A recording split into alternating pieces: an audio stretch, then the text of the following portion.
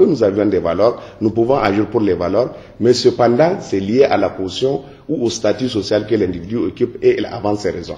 Maintenant, par rapport à la corruption en tant que telle, il est vrai dans notre pays, beaucoup de mécanismes ou de stratégies ont été mis en place pour lutter contre la corruption, notamment la Halcia, la ligne verte et bien d'autres structures que l'État a mises en place. Mais il est une réalité, il faut le constater. Jusqu'à présent, il y a encore des, des, des, séquelles de la corruption, il y a encore des choses que la population attend véritablement de voir. C'est cette affaire d'impunité. Justement, pourquoi le débat, c'est aujourd'hui qu'il est porté Ce n'est pas la première fois que le gouvernement de Brigitte Raffini se présente au niveau de l'Assemblée nationale. Avant le, le, le, gouvernement de Brigitte Raffini, il y a eu d'autres gouvernements qui sont passés avec des motions de censure. Est-ce une pratique? Mais pourquoi cette fois-ci les gens insistent sur la corruption? Oui, ça, bon, vraiment, je ne saurais vous le dire, mais je sais qu'il y a eu beaucoup de motions de censure dans ce pays où le Premier ministre parvenait à s'en sortir. Et en ce moment-là, les gens n'ont pas parlé de l'argent, ils ont parlé peut-être d'autres choses. Mais cette fois-ci, les gens sont en train de parler de l'argent. Vous savez, c'est de, je vous ai parlé, hein, c'est pas de la politique seulement, c'est dans presque tous les secteurs. C'est parce que c'est quelque chose qui n'est pas vérifiable. Je ne peux pas dire, voilà ce qui s'est passé entre X et Y. Même si les gens donnent de l'argent, personne ne peut le démontrer. Et si les gens peuvent le démontrer, aujourd'hui, notre pays s'est engagé dans la lutte contre la corruption.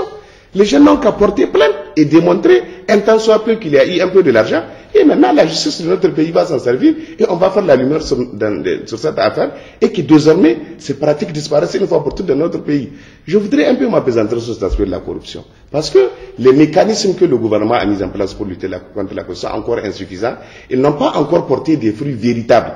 Et c'est pourquoi vous constatez, chacun peut accuser X ou Y comme il veut, sans qu'il n'ait des preuves et que rien ne se passe. Ça concrétise l'impunité qui continue encore à avoir une place dans notre pays et par rapport à laquelle le gouvernement doit amener aujourd'hui la riposte nécessaire pour que les lois et règlements de la République soient appliqués sur les citoyens et pour que désormais, il faut que les citoyens aient confiance à la justice nous en et que c'est qu'on peut leur rendre justice au cas où il se trouverait nous, nous, nous, en, nous en parlerons plus de, de, de, ce mécanisme avec Maître Jibo Ibrahim, qui est également député, mais aussi qui est magistrat, c'est ça, ou avocat euh, donc, docteur Maman, à vous dans un premier temps, bonsoir.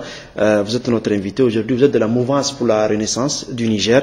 Euh, si le gouvernement s'est présenté devant l'Assemblée nationale, c'est pour qu'il y ait plus de légitimité. Le gouvernement, qu'on disait à un moment, après le départ de Lumana, Lumana, moderne FA Lumana, après le de Lumana, on pensait que le gouvernement ne pouvait pas euh, suffisamment tenir. Qu'est-ce qu que vous en pensez de ce départ de, de Lumana euh, Est-ce que euh, le départ de Lumana a-t-il bloqué ou non la marche de l'État ou le fonctionnement normal des institutions de la République? Je vous remercie. Vraiment, ce qu'il faut retenir, c'est qu'au niveau de l'AMRN, nous sommes sereins.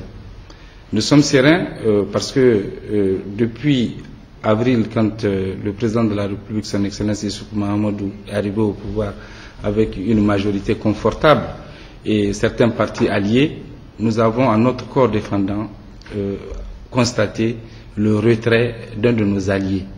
Ceci a donné lieu à beaucoup de supputations où euh, souvent des gens de l'opposition se sont dit souvent que la majorité avait basculé et qu'elle avait changé de camp. Même si par ailleurs, mathématiquement parlant, arithmétiquement parlant, on avait au moins une majorité confortable de 58 députés. Mais cette lame de fond, distillée sciemment au niveau des médias, au niveau des partenaire extérieur a amené en toute responsabilité le chef du gouvernement à poser cette question de confiance à la représentation nationale. C'est extrêmement important. Ça a été un moment de clarification des forces politiques.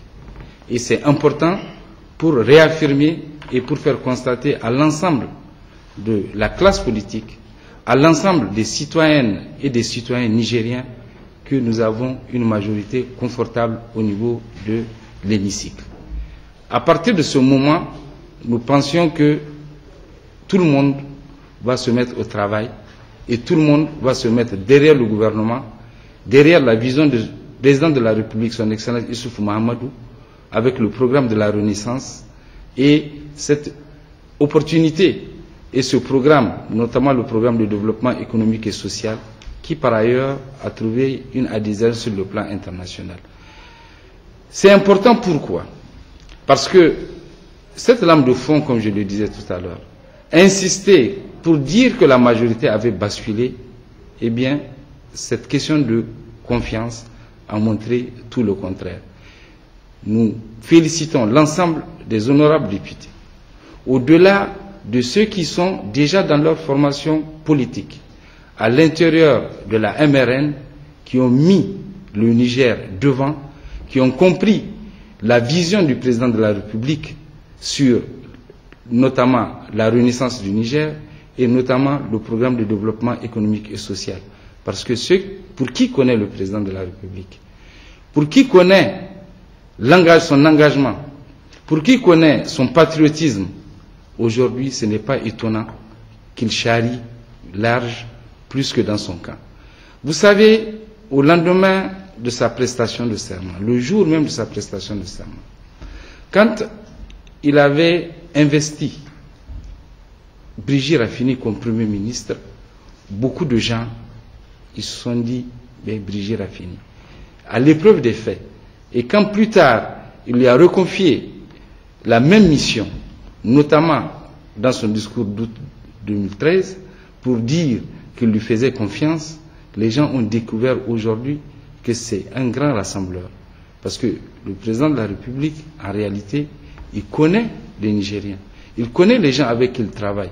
Et tout le monde a vu le sens, la sagesse et le choix pertinent que le président de la République a fait pour pouvoir mettre un Premier ministre rassembleur et qui est prêt à mettre l'ensemble des Nigériens autour du programme de développement économique et social pour essayer de faire sortir le Niger au moins de ces chantiers battus. Il y a une chose qui est extrêmement importante. La période électorale, elle est terminée. Docteur Guima, euh, donc malgré le départ de Lumana, Modern FA Lumana, on peut dire aujourd'hui que euh, la politique du président peut continuer. Mais bien sûr. Vous savez, le départ de Lumana, nous l'avons regretté. Parce que il n'est un secret pour personne que le président Issoufou Mahamadou se bat toujours contre l'exclusion. C'est un rassembleur, il ne sait pas quelqu'un qui est partisan l'ensemble des Nigériens, elle a dit qu'il va faire appel à tous les Nigériens. Malheureusement, ça a été mal perçu. D'autres ont une autre conception de la politique, d'autres ont une autre conception de la vie de l'État, d'autres une autre conception de la gestion des affaires publiques. Il a été question de coquilles vides pour justifier le retrait de certains de la mouvance pour la renaissance du Niger, le Niger n'est pas un gâteau. Le Niger a besoin d'hommes et de femmes prêts à s'engager pour attaquer les véritables défis qui sont celles de la lutte contre la pauvreté, qui sont celles de la lutte pour l'émancipation de notre peuple, qui sont prêts à accompagner le président de la République à travers sa vision pour la sécurisation alimentaire, notamment à travers le programme 3N, et voilà ce qui fait qu'aujourd'hui, nous avons une forte adhésion au-delà des clivages politiques dans, l'action du président de la République. Il y a une chose qui est extrêmement importante. Je vous l'ai dit. Nous avons été victimes de l'exclusion. Nous avons fait une opposition responsable. Le président Issoufou, un de ses leitmotivs, c'est l'état de droit. C'est la forme républicaine de l'État et il se bat toujours contre l'injustice, le favoritisme et la corruption. Comment aujourd'hui un homme politique dont tous les Nigériens connaissent le parcours, qui a toujours mis en avant l'intérêt du Niger avant toute autre chose, on peut soupçonner tant soit peu qu'il cautionne certaines pratiques. Nous faisons de la politique, mais restons sereins et il faut élever le débat et il faut faire en sorte que les actions du Niger qui sont portées, cet attrait du Niger, à cause du respect que les gens vouent aujourd'hui et qu'ils constatent sur le terrain, que cette diplomatie retrouvée du Niger, cette place honorable du Niger, il ne faudra pas que par les comportements des uns et des autres ou pour des questions de nombrilisme que les gens ramènent tout à leur personne. Le Niger nous survivra tous. Et ça, le président de la République l'a toujours dit. Je voudrais vous dire un seul mot. Vous savez, le président de la République, il y a une seule chose sur laquelle il est très difficile de le rencontrer très tôt le matin ou tard le soir. La première chose quand vous le rencontrez le matin, il vous demande qu'est-ce que vous avez prévu de faire pour le Niger. Qu'est-ce que vous allez faire aujourd'hui pour faire avancer le Niger. Quand vous le rencontrez le soir, il vous demande qu'est-ce que vous avez fait pour que le Niger avance aujourd'hui? Nous y reviendrons dans quelques instants sur le, le PDS, le temps de, vous donner la parole, maître Jibo Ibrahim. Vous êtes avocat, vous êtes en plus euh, député, vous êtes à l'Assemblée nationale. Le débat s'est passé à l'Assemblée nationale. Le gouvernement a euh, la motion de, confiance a été votée à 70 voix pour, 43 contre. Et euh, le débat maintenant est porté sur la corruption. Je vous pose la question en tant qu'avocat, mais pas en tant que député, même si c'est lié, c'est le rôle que vous jouez aujourd'hui. Est-ce qu'on peut accuser tout de suite un parlementaire ou, l'Assemblée en tant que telle, ce qui aujourd'hui on parle de corruption, de manière aisée et tranquille? Merci pour l'opportunité que euh, votre, la télévision nationale nous offre, en tout cas pour euh, nous exprimer sur une question importante qui défrait la chronique, comme vous l'avez dit. Et naturellement, c'est très facile effectivement d'accuser quelqu'un de tel ou tel acte, non pas seulement la corruption, mais seulement le plus important, c'est de pouvoir apporter la preuve de ce que vous apportez. Donc, de ce que vous avancez comme étant un fait. Donc, à l'espèce, je suis vraiment indigné que euh, une telle information soit en tout cas galvaudée un peu partout. Indigné parce que je me rends compte que les gens à la limite n'ont aucun respect pour nos institutions.